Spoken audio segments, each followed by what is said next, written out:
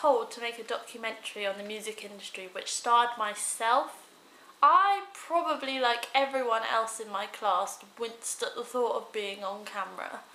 But here I am, and after doing a lot of thinking about music in the 21st century, I decided to focus on how music was current and stylish, and how who's on top of the chart correlates with who's performing at one of the top festivals of the summer, V Festival in Chelmsford. I'm also really interested in how CD retailer companies keep updated with what sort and style of music is current and popular, seeing as we're now in a really highly digital age. There are two topics to my documentary, one of which I just mentioned, which is how CD retailers present who they think are the sound of the summer and whether these same artists are presented at V Festival. Yeah! Topic number two I'm also interested in how these artists present themselves on their album covers and in their advertising, and whether this correlates with how they look in real life.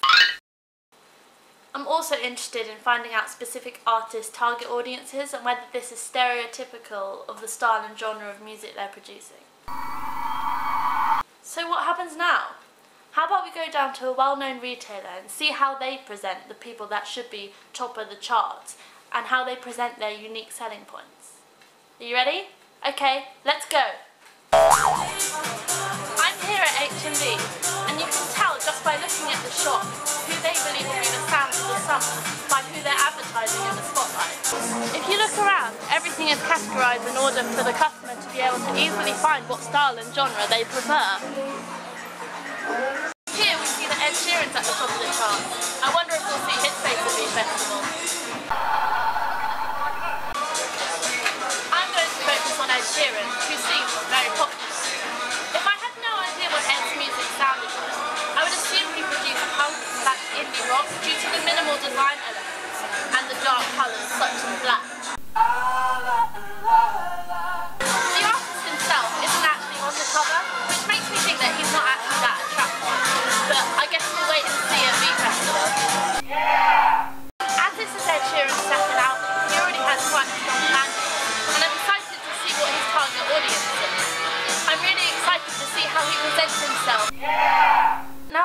HMV. Let's have a quick recap of what I've discovered so far. In relation to topic number one, which revolved mainly around my visit to HMV, I can say that as Ed Sheeran was listed as top of the charts, HMV got it pretty bang on about who was up and coming and I'm pretty sure we'll see him at V. In answer to topic number two, Ed presents himself really differently on his album cover in relation to his old, organic style of music. This topic remains unanswered as we'll have to wait and see how he presents himself at V Festival. So there's only one thing left to do. Let's pop over to V Festival to see if my research and discoveries have all been worthwhile. Ready? Let's go! Hi guys, I'm here at V Festival. Let's have a look around, shall we?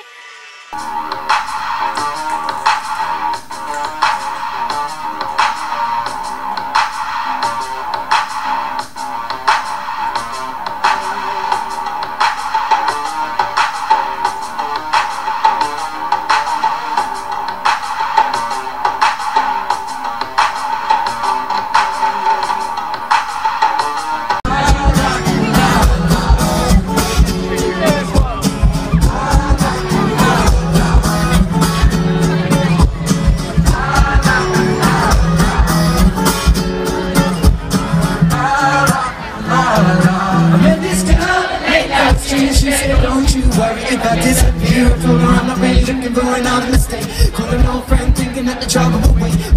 In relation to what I said at HMV, you can tell Ed has a really strong fan base. As you can hear, all of his fans know the words to all of his songs, even the less well known ones.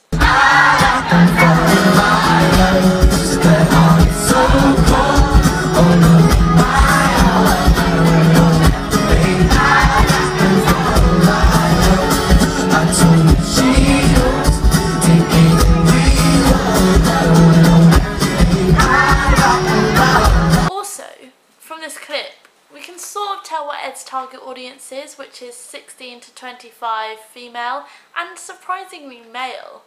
I would say this is a fairly stereotypical target audience for someone in the pop slash indie genre. So we've established an answer to topic number two. Ed does not present himself on stage in the same way that his album cover would suggest.